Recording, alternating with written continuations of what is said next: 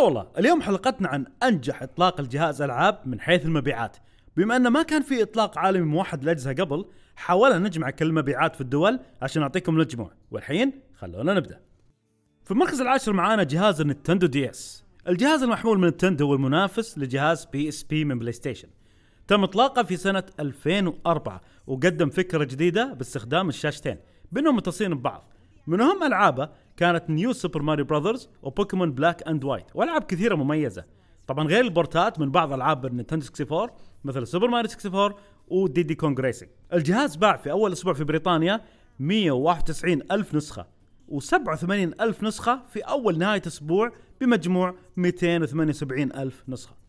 في المركز التاسع معانا جهاز ال Xbox 360 ويعتبر الجهاز الثاني لمايكروسوفت. تم إطلاقه في سنة 2005 وهو المنافس المباشر لجهاز بلاي ستيشن 3 هذه المرة تركيز أكبر على خدمة ال online Xbox Live وبتحديثات مستمرة. وهالمرة صار في اشتراك مدفوع وتوفر مجموعة كبيرة من الخدمات مثل Xbox Live Arcade وشراء الأفلام ومسلسلات الموسيقى ومن اشهر العابه Mass Effect 2 Halo 3 و Gears 3 الجهاز باع في أمريكا 326 ألف خلال أول أسبوعين وفي اليابان 62 ألف في أول يومين وبريطانيا 70 ألف في ثلاث أيام. بمجموع 458 ألف جهاز. في المركز الثامن معانا جهاز ال Dreamcast آخر جهاز منزلي من سيجا. ال Dreamcast نزل سنة 1998 في اليابان وباقي الدول في سنة 1999 الجهاز كان مميز وخصوصا في يد التحكم. اليد كان فيها memory وهذا ال memory فيه أزرار وفيها mini game تقدر تلعب فيها. الجهاز لقى نجاح كبير خصوصا في أمريكا. لكن بسبب إعلان سوني عن بلاي ستيشن 2 قل الاهتمام بالجهاز بشكل كبير. والمبيعات انخفضت بالرغم أن سيجا سوت خصومات كثيرة على الجهاز. وتغيرت إدارة شركة سيجا وبكذا قررت أنها تنهي الجهاز في عام 2001 من أشهر ألعابه Crazy Taxi Jet Set Radio Shenmue وباع في أمريكا خلال أول أسبوعين 500 ألف جهاز. في المركز السابع معانا جهاز الجيم كيوب جهاز الجيم كيوب المنزلي من نتندو تم إطلاقه سنة 2001 والمنافس لجهاز بلاي ستيشن 2 والاكس بوكس وكان أول جهاز من نتندو يستخدم السي دي أو مثل ما يسمونه optical CD.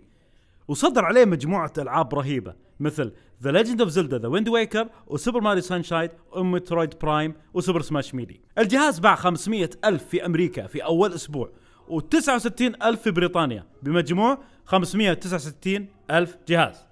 في المركز السادس معانا جهاز بلاي ستيشن 3 البلاي ستيشن 3 صدر في سنة 2006 وهو المنافس المباشر للإكس بوكس 360 كان أول جهاز يستخدم سيديات بلوراي ولأول مرة يقدمون خدمة بلاي ستيشن Network. وفي 2009 أعلنوا عن نسخة slim من الجهاز وفي 2012 أعلنوا عن نسخة super slim. الجهاز كانت بدايته بطيئة في الأسواق بحكم صعوبة التطوير عليه وسعره المرتفع. وما تحسن إلا بعد إصدار نسخة ال slim منه. من أشهر ألعابه The Last of Us God of War 3 و Uncharted Drake's Fortune الجهاز باع في أمريكا 197 ألف خلال أول أسبوعين واليابان 81 ألف خلال يوم واحد فقط واستراليا وأوروبا 600 ألف خلال يومين بمجموع 878 ألف جهاز. في المركز الخامس معنا جهاز بلاي ستيشن 2 وهو يعتبر الجهاز الثاني من سوني. أطلق سنة 2000 وكان منافس مباشر لجهاز الدريم كاست والاكس بوكس والجيم كيوب. أهم ميزة فيه إنه كان يشغل ألعاب بلاي ستيشن 1 ويعتبر أعلى جهاز منزلي مبيعا في التاريخ بأكثر من 150 مليون جهاز واصدرت عليه حوالي 3800 لعبة مختلفة وأصدروا أكثر من نسخة مصغرة من الجهاز في عام 2004 وتم إيقاف صنعه بشكل رسمي في سنة 2013 من أشهر ألعابه Kingdom Hearts Metal Gear Solid 3 Snake Eater و Shadow of the Colossus باع في أمريكا في أول نهاية أسبوع 500 ألف جهاز وفي اليابان مليون جهاز خلال 10 أيام فقط بمجموع مليون ونص جهاز. في المركز الرابع معانا جهاز النينتندو وي وي جهاز نينتندو المنزلي للجيل السابع؟ صدر سنة 2006 ومن هنا بدأت نينتندو بشكل واضح وبتصريح منها أنها تستهدف شريحة مختلفة عن المنافسين في وقتها اللي هم بلاي ستيشن 3 والاكس بوكس 360 بحكم اختلاف التقنيات المستخدمة والألعاب وقدموا فيه خدمة ال Virtual Console اللي تسمح لك إنك تنزل ألعاب لأجهزة نينتندو القديمة. ومن أشهر ألعابه Mario Galaxy 1 and 2 و Zelda Twilight Princess باع في أمريكا الشمالية في أول ثمان أيام 600 ألف جهاز. في الولايات المتحدة بالتحديد باع 476 ألف جهاز خلال أول أسبوعين. وفي أوروبا 50 ألف جهاز خلال 12 ساعة. واليابان 400 ألف خلال يوم. وبريطانيا 105 ألف جهاز خلال يومين. بمجموع مليون 631 ألف جهاز. في المركز الثالث معنا جهاز الإكس بوكس. جهاز الإكس بوكس هو أول جهاز لمايكروسوفت في عالم video games.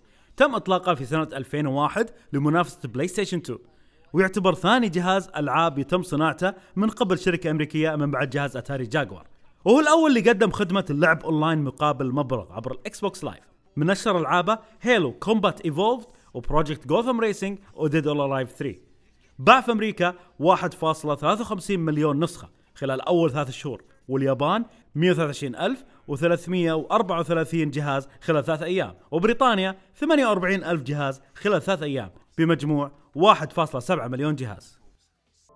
في المركز الثاني معنا جهاز بلاي ستيشن 4 أكيد ما في مجال للشك إن جهاز بلاي ستيشن 4 ساهم بشكل كبير في انعاش صناعة الألعاب خصوصا بعد التنبؤات الكثيرة إن سوق الألعاب الجوالات راح ينهي سوق الألعاب المنزلية لكن نجاح بلاي ستيشن أثبت العكس من اشهر العابه Uncharted 4 A Thief's End Bloodborne Horizon Zero Dawn و God of War الجهاز باع مليون في أمريكا في أول يوم وخلال 15 يوم باع عالميا 2.1 مليون جهاز حول العالم. وبكذا يكون أسرع جهاز يوصل هذا الرقم في فترة قصيرة. والآن مع المركز الأول. جهاز الجيم بوي ادفانس من شركة نينتندو تم إطلاقه في عام 2001 وكان يعتبر أول جهاز محمول 32 bit من الألعاب المشهورة فيه كانت Pokemon Ruby and Sapphire و Super Mario Advance 3 Yoshi's Island وأيضا Final Fantasy 4 Advance وحقق نجاح كبير حتى في سنة 2004 أصدرت نسخة ثانية باسم جيم بوي ادفانس اس بي الجهاز باع في أمريكا خلال الأسبوع الأول 45 مليون نسخة وفي اليابان 1.6 مليون نسخة خلال أول خمسة أسابيع وفي بريطانيا 67 ألف نسخة بمجموع 46 مليون و714 ألف نسخة. وهذه كانت أنجح الأجهزة اللي صدرت آه، في التاريخ. أعطونا رايكم بالحلقة وأيضا لا تنسون الاشتراك وال like نشوف حلقات رهيبة مثل كذا. وأيضا أعطونا أفكار ثانية لل top 10 تبون نسوي لكم إياها. شكرا للمتابعة كان معكم فهد الشيحة مع السلامة.